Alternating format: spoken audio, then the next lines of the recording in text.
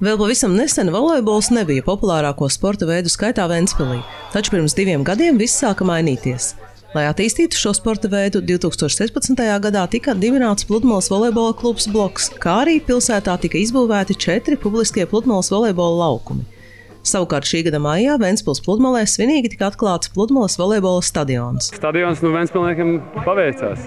Ir ļoti labs uh, stadions un ir visas iespējas uh, trenēties un spēlēt pludmales volejbolu. Te ir ļoti, ļoti labi un es nezinu, mēs saši izbaudījām, mēs tikai šajā laukumā spēlējām.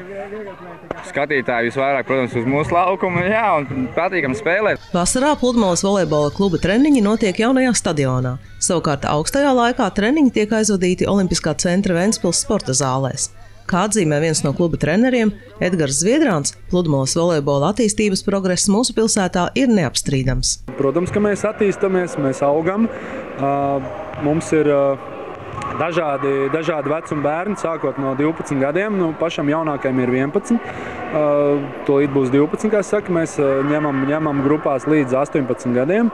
Un, un tie, kas, tie, kas neko citu nedara, kā saka, jo tomēr savu, savu daļu sportists aizņem citos sporta veidos, un mums ir, mums ir foršākie bērni un, un, un saka, paklausīgākie. Aizvadītā vasara bijusi piesātināta gan pludmales volejbola kluba dalībniekiem, gan tiem ventspilniekiem, kuri interesējas par šo sporta veidu. Jaunajā stadionā ik nedēļu notika sacensības turnīra Karalis un Karaliene ietvaros. Saulainā laikā netrūka arī to, kuri vēlas spēlēt pludmales volejbolu pārējos laukumos. No vienas puses liels prieks, kad uh, pludmales volejbols interesē daudziem cilvēkiem. No otras puses, nožēl, ka uh, visi nevar, uh, teiksim, tā, nu, tik tāpēc, ka laukumi visi ir aizņemti. Ja? Mums, mums ir ļoti liels paldies jāsaka pašvaldībai par šiem skaistiem, superīgiem laukumiem. Izmantojam katru, katru nedēļu, trīs reizes, četras reizes nedēļā, izmantojam volejbola laukumus pie katras iespējams. Un jaunieši pats atzina, ka mēs pagājušajā gadā pamēģinājām drusciņi trenēties arī pie pludmales laukumos, pie Lukoila degvielas uzpildes stācijas.